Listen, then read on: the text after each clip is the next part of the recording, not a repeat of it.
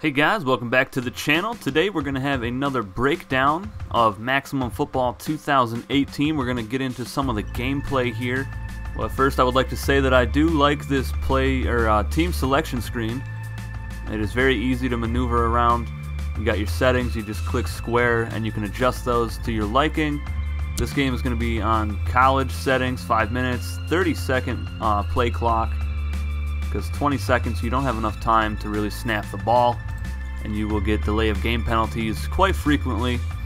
And I stated in the last video that the delay of game penalties need to be fixed. Right now they are 10 yard penalties and needs to be switched to 5.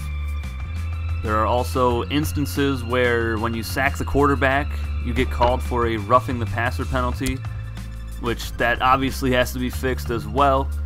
And I do like the opening sequence here, the pan around the um, the stadium showing you all the fans and pretty much the entire stadium.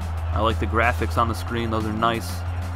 It says today's announcer is Jordan Mercier. I didn't quite catch that name, but you don't really hear the announcer a whole lot at all. So having a commentator in this game would definitely help improve it and give it a better atmosphere. Now here we've got the second play of the game. I am on offense. Now as you can see the play clock is running out very fast. You guys saw me at the beginning of this video switch the play clock to 30 seconds and it did not actually transition it into the game but here's a nice touchdown pass. Huge touchdown pass and the crowd goes crazy. I like that crowd reaction. I do wish there was um, more crowd reaction throughout the game, maybe some constant uh, noise from the crowd because it gets very quiet for quite a bit of the game and maybe add some some music into the game as well just between plays. And another quick play here you can see the clock running out. It takes forever sometimes for the team to line up and there's the delay of game penalty for a loss of 10 yards. So obviously that'll need to be fixed in a patch. But the kicking sometimes some of your players will get stuck behind the holder and they won't get to the line of scrimmage, so you'll get a couple delay of game penalties in a row. As I almost missed that extra point. And here I am on defense, and what they really need for defense here is the play art. You have to be able to see your play. That has been in uh, Madden and college football games since at least 2003. That needs to be implemented. If not the entire play art, at least have um, single assignment art on the field so you can see what player, what the player is that you are controlling is actually supposed to be doing.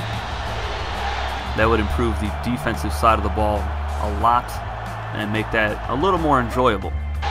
And another improvement for defense would the would be the ability to actually switch on to a player when the ball is in the air.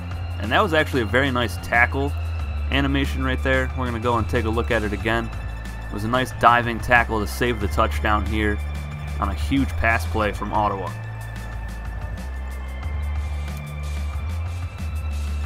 And on the replays, we got to have the ability to have the cursor on the football itself.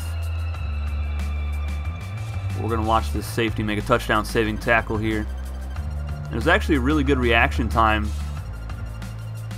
was a split second before the quarterback actually threw it. So he knew where the ball was going, so that was a very good reaction and a nice dive animation for the tackle to save the touchdown. Just a full extension of the body. I've seen a couple of good animations in this game so far, actually. This is just one of the better tackle animations. And another part of presentation that I enjoy is the scoring drive. I love the graphic here, and I love that they have every play. It's like watching Gamecast on ESPN or something. I really enjoy that as well. On this play, we're going to see a great kick return, and the crowd react to it. And it's actually a really nice reaction. The crowd just starts going crazy as soon as he breaks to the outside here and gets into the open field and outraces the defense for the touchdown. I've noticed with scoring plays, you cannot go to replay. There's only the pause option right there over by the Canuck logo. So there definitely needs to be a replay for scoring plays. Here we're going to see another nice animation from the quarterback on a scramble. And it's actually a stumble recovery animation. Now, I believe this is the second iteration in this franchise for this game. So to have the stumble animation already present on the second try is actually impressive. It's not the cleanest animation you'll ever see, but you can see his hand plants on the ground. He picks himself back up, and he gets some extra yardage here, and a nice scramble by the quarterback. And we're actually going to see this same exact animation from a different player on this play right here. As we see a backwards pass dropped for a fumble. The offensive lineman picks it up, stumbles, and he gets crushed by the defender. And it actually destroys that animation as he's trying it. Now, in other football games, for stumble animations, if you hit that button in time, more often than not, they will probably just run through whoever is trying to tackle them and they will complete that animation. Now that is not the case here as the offensive lineman gets pummeled by the cornerback. So two stumble animations, two plays in a row, and two different outcomes for those players. And here's a quick look at the sideline, and I would like to say that there's more life on this sideline than there ever has been in a Madden football game. So kudos to Canuck play here. I know they're not doing a whole lot, but they actually look like the players on the field as well. And for presentation and play calling here, um, I like the screen.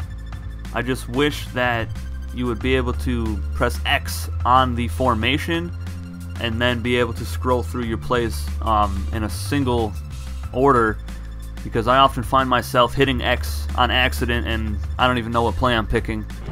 And another thing I would like to be able to talk about here is the timeouts. You can see Ottawa just called a timeout there. But as you can see on this screen, on the play calling screen, and while you're on the field, there is no option to call a timeout there. There might be, but I just can't find it. So there needs to be a button in place for you to be able to just hit it and call that timeout quickly instead of having to go back to the menu and call a timeout like that. And on this play, we're going to see a nice scoop and run from a forced fumble, and there's a huge hit on the receiver. Nice hit by 57, drawing the ball loose, and his teammate, his defensive end, actually scoops the ball up, tries to follow his blockers, and has a nice return back to midfield.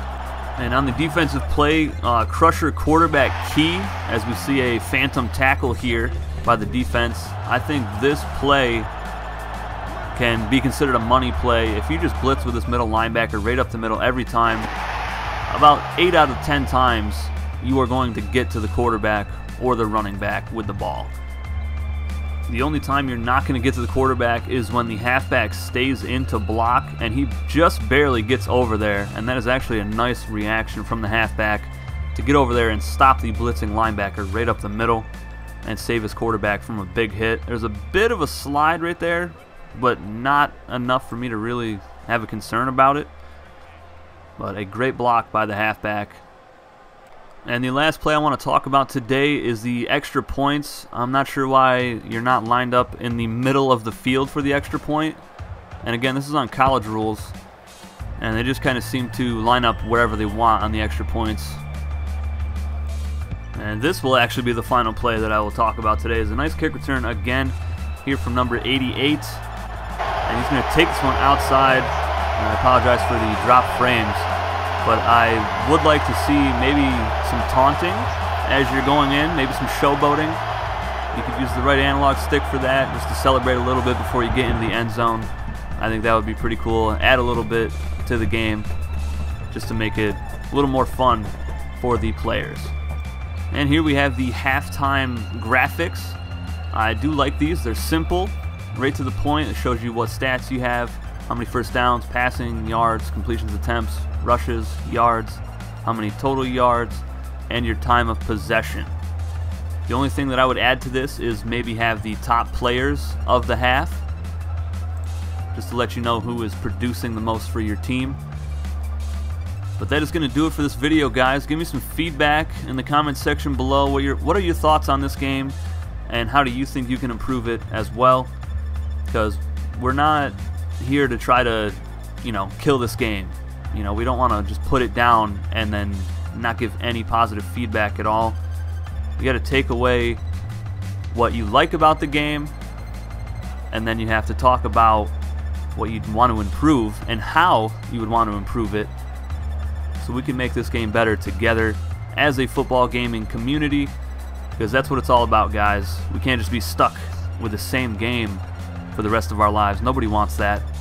But that is going to do it for me today, guys. I will see you again with Maximum Football 2018 within the next week or so with another video. But until then, take it easy, guys.